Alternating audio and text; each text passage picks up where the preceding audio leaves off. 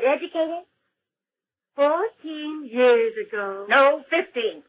Fourteen, Mita. Fifteen come July. Now wait. Last year, the big wind Drove the Anderson. chicken house clear across the street. Then Mrs. Scudder had syphilis. Then old man Stevie. Ran that good-looking dentist out of town.